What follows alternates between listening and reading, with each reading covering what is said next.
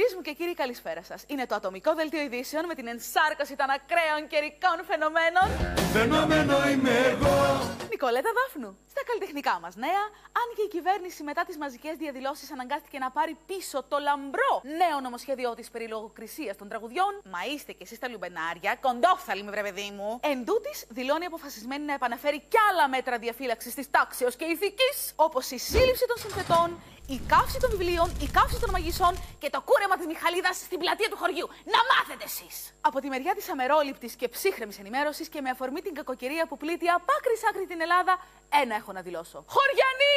Κλείστε τα παράθυρα, θα αρπάξουμε καμιά χούντα! Πούντα! Περνάμε στην αγαπημένη τον Πόλο Παυλίνα Νικολίνα, η οποία μας έχει έτοιμο το quiz της ημέρας.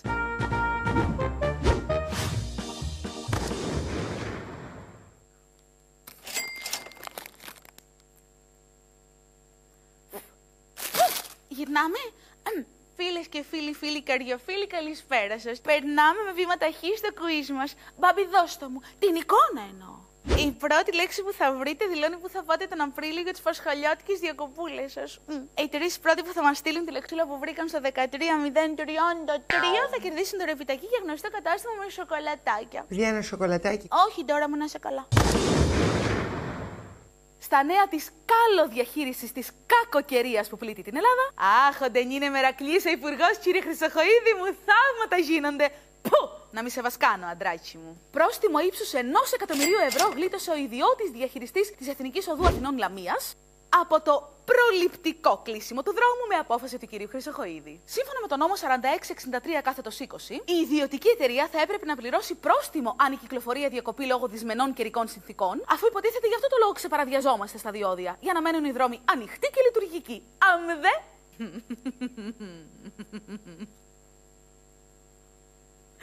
Όχι μόνο η εταιρεία γλίτωσε να ενεργοποιήσει τον κοστοβόρο όντως μηχανισμό καθαρισμού και διαφύλαξη της ασφάλειας της Εθνικής Οδού. Αλλά μαντέψτε,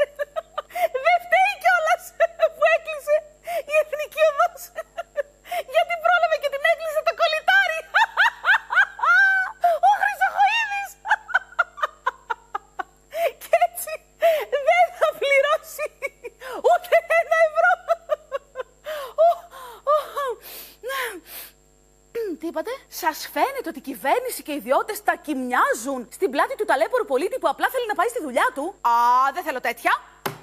Αυτά είναι θεωρίες συνωμοσίας από Σιριζέους, αναρχοάπλητους και μπαχαλοσατανίστριε. Έλα, συνέλθετε.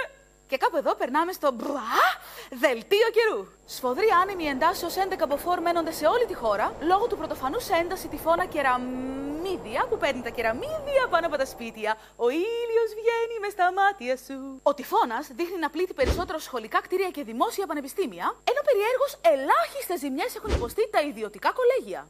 Οι επιστήμονες μιλούν για πρωτοφανές φαινόμενο και αναζητούν τα αίτια της επιλεκτικής αυτής καταστροφής. Πηγές λένε ότι το φαινόμενο συνδέεται με τον παράδοξο παράγοντα του M-factor, όπου M βάλτε.